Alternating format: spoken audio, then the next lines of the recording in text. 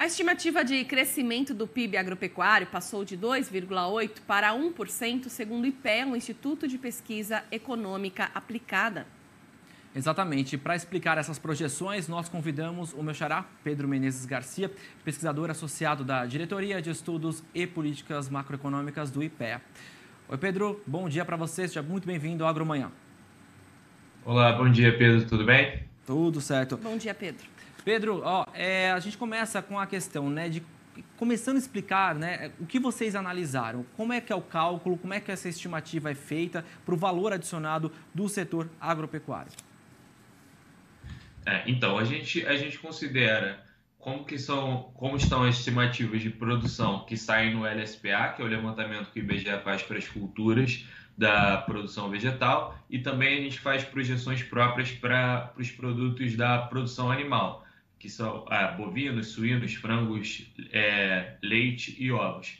Com base nisso, a gente evolui o que, o que já foi divulgado pelo IBGE nos, nos anos anteriores e a gente chega a um valor adicionado para o setor agropecuário em 2022, que aí mais comumente chamado como PIB, no caso, quando está tratando do setor, a gente fala valor adicionado, né? Certo. Agora explica pra gente, né? Porque em relação à soja, um dos principais produtos analisados, o que vocês apontam? Porque a gente sempre está vendo aí é uma safra muito positiva e no caso de vocês o estudo aponta uma queda na produção. Explica pra gente. Isso é. A, a última estimativa do LSPA já veio com uma queda grande para a produção de soja.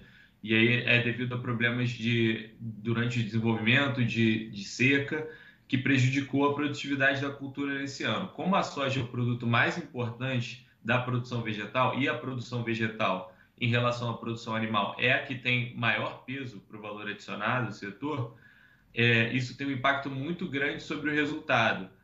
É, ano passado, a gente, antes da, da fase de colheita, a gente vinha, vinha com uma perspectiva de aumento da soja, mas isso foi revertido para uma queda bem elevada e isso impactou bastante a estimativa que a gente tinha maior para o ano. Né? A gente tinha uma estimativa de 2,8%, a gente passou para 1%.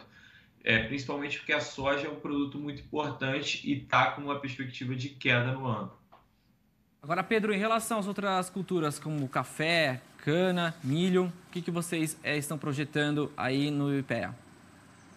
Sim, a boa notícia para essas culturas, que também são bem importantes para a produção vegetal e para o setor como um todo, é que elas estão com uma perspectiva de alta bem forte. Então, elas estão conseguindo compensar essa queda da soja. O que a gente tem atualmente é um resultado de, de crescimento de 0,3% na produção vegetal.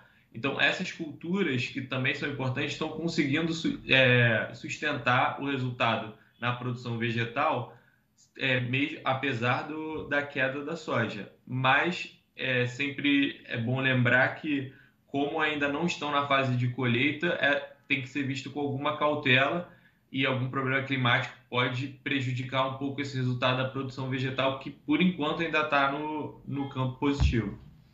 Agora conta para a gente o desempenho do setor animal, qual a projeção? Isso, então o, o setor animal é o que mais deve contribuir para o resultado positivo do setor agropecuário como um todo.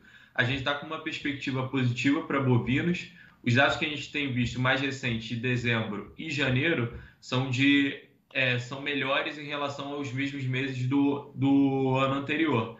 Então a gente a gente está esperando uma perspectiva bem positiva para bovinos com um crescimento de 3,8% e a gente espera também que tenha um crescimento expressivo em, em suínos e frangos, não tão bom quanto a gente viu ano passado, mas uma taxa relativamente alta.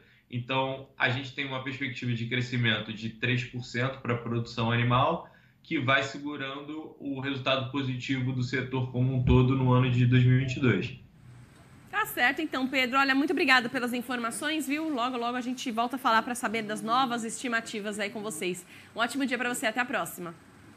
Para vocês também. Obrigado por receber. Obrigada. Valeu, Pedro. Obrigado.